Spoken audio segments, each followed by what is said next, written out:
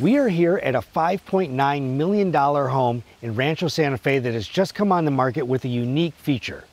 We let the owner of the property, a former Qualcomm executive, show us around. Hello, I'm Dave Vigil and welcome to my speakeasy. I worked for Qualcomm for 20 years and travel was always a big part of that. And so I spent a lot of time in hotels all over the world. And when I had the opportunity to buy a house that had the ability to give it a uh, style and a motif from some of my favorite hotels. Uh, that's what I tried to do and uh, when I met the McCulleys, uh, we started brainstorming ideas of what to design into this and it just felt right to do it after one of my favorite hotels, which is the Nomad Hotel in New York City.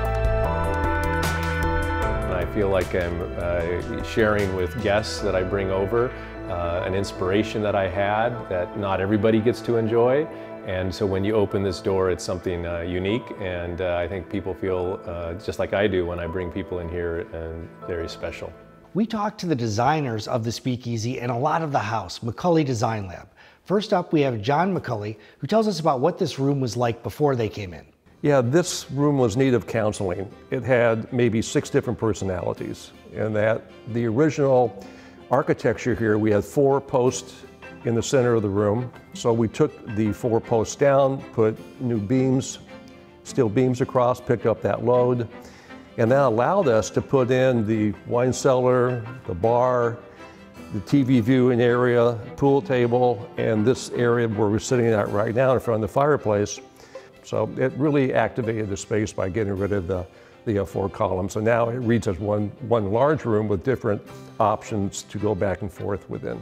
We also spoke with Janet McCulley, who told us a little bit about why this home is different from other places in Rancho Santa Fe. Uh, we really transformed it into a very modern, modern ranch home. Um, a lot of European influences and 18th century um, influences.